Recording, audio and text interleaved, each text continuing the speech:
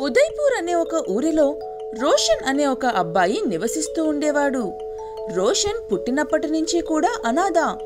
అలా తనకంటూ ఎవరూ లేకపోయినా ఒంటరిగానే ఎంతో కష్టపడి ఇప్పుడు మంచి స్థాయిలో ఉన్నాడు.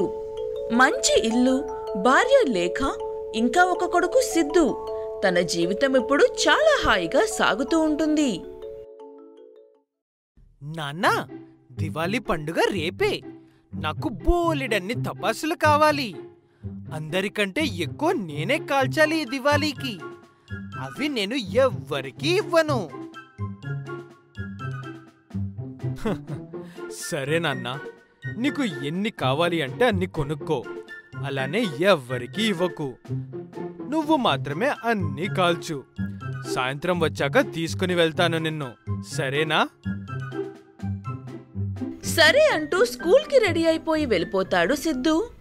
అలా డ్రైవర్తో పాటు కార్లో స్కూల్కి వెళ్తూ ఉండగా అటుగా వస్తున్న ఒక అబ్బాయిని చూసుకోకుండా గుద్దేస్తాడు సిద్ధు కార్ డ్రైవర్.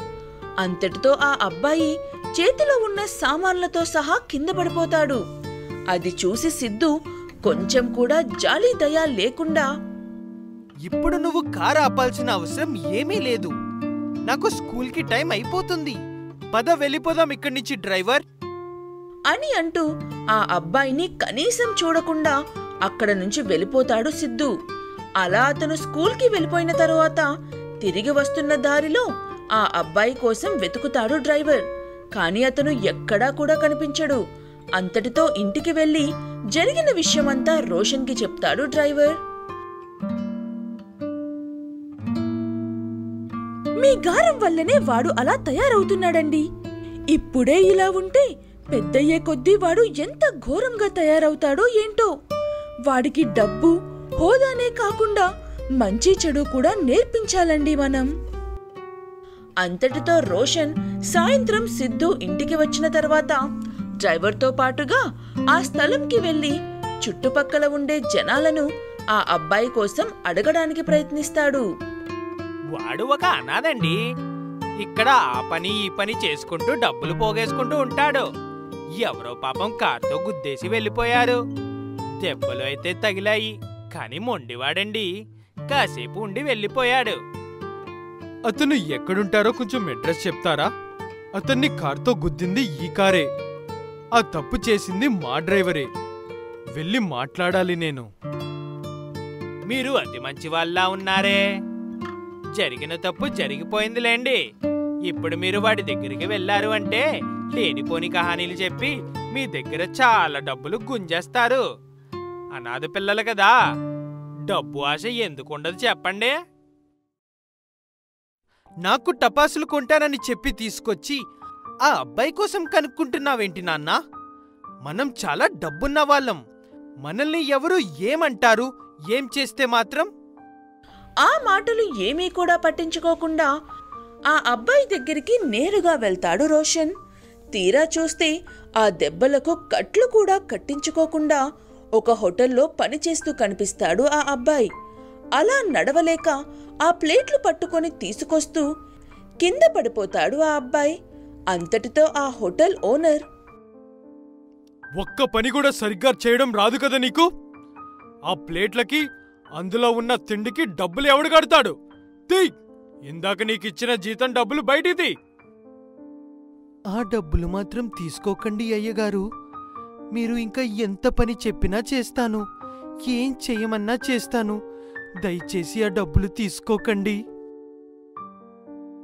అని ఆ అబ్బాయి ఎంతలా బతిమలాడినా బలవంతంగా ఆ డబ్బులు లాగేసుకుని అక్కడ నుంచి ఆ అబ్బాయిని తరిమేస్తాడు ఆ హోటల్ ఓనర్. అది అంతా చూసిన సిద్ధు తన తండ్రితో ఇదంతా నా వల్లే నాన్న. పాపం ఆ అబ్బాయికి దెబ్బలు తగిలి ఉండకపోతే మంచిగా పని చేసుకునేవాడు. కనీసం నేను ఆ అబ్బాయిని కారు ఆప్ కార్ ఆపి కూడా చూడలేదు ఉదయం. తప్పు చేయడం మనిషికి సహజమైన లక్షణం నాన్న. కానీ ఆ తప్పుని తెలుసుకుంటేనే మన బ్రతుకుకి ఒక అర్థం. నేను కూడా అలాంటి అనాథనే నా చిన్నప్పుడు. ఎన్నో కష్టాలు పడితే ఈ స్థాయిలోకి వచ్చాను. అందుకే మనకి ఎప్పుడు కూడా డబ్బు గర్వం ఉండకూడదు. పద వెళ్ళి ఆ అబ్బాయికి సాయం చేద్దాం. అని అంటూ తండ్రి కొడుకులు ఇద్దరూ కూడా ఏడుస్తున్నా ఆ అబ్బాయి దగ్గరికి వెళ్తారు. అలానే ఉదయం చేసిన పనికి సిద్ధు ఆ అబ్బాయికి సారీ చెప్తాడు. అలానే రోషన్ అతనికి కొంత డబ్బు ఇస్తాడు. దానికి ఆ అబ్బాయి ధన్యవాదాలు చెప్పి అక్కడి నుంచి పరుగున వెళ్ళిపోతాడు. డబ్బులు చూపించారుగా. ఇంకా ఆ అబ్బాయికి ఏ బాధ కనిపించదులేండి అనాథ వెధవలో. అది చూసి అసలు ఆ అబ్బాయి ఎక్కడికి వెళ్తున్నాడు అని వెంబడిస్తారు తండ్రి కొడుకులు కలిసి. అలా ఆ అబ్బాయి నేరుగా ఒక స్వీట్ దుకాణంలోకి వెళ్ళి ఆ డబ్బులకు వచ్చే స్వీట్లు కొంటాడు. అలానే ఒక వీధిలో ఉండే చిన్న పాడుబడిన బ్రిడ్జ్ కిందకి వెళ్తాడు. అక్కడ అతని లాంటి అనాథ పిల్లలు చాలా మంది ఉంటారు. చూడండి నేను మీకోసం ఏం తీసుకొచ్చాను? మనం కూడా దివాళీ పండుగ చేసుకుందాం. ఈ స్వీట్లు తిని. రెండో రండి. అని అంటూ వాళ్ళందరినీ పిలిచి స్వీట్లన్నీ పంచుతాడు ఆ అబ్బాయి. ఆ పిల్లలంతా చాలా సంతోషంగా ఆ చాలీ చాలని స్వీట్లు సంతోషంగా తింటారు. అది చూసి సిద్ధు ఇంకా రోషన్కి కళ్ళల్లో నీళ్ళాగవు. దివాళీ అంటే మనం మాత్రమే టపాసులు పేల్చడం కాదు. ఇతరుల జీవితంలో వెలుగు నింపడం అని మా టీచర్ చెప్పారు నాన్న. మనం రేపు దివాళీ వీళ్ళతో కలిసి చేసుకుందాం నాన్నా. అలా మరుసటి రోజున రోషన్ ఇంకా సిద్ధు బోలెడన్ని టపాసులు ఇంకా స్వీట్లు పట్టుకొని ఆ చోటుకు వెళ్తారు. అలానే ఆ పిల్లలందరితో కలిసి సంతోషంగా దివాళీ జరుపుకుంటారు. ఆ తరువాత దివాళీ బహుమానం అంటూ వాళ్ళందరి బాగోగులు చూసుకుంటాను అని రోషన్ ముందడుగు వేస్తాడు ఆ అనాథల జీవితాల్లో వెలుగుని నింపడానికి. Música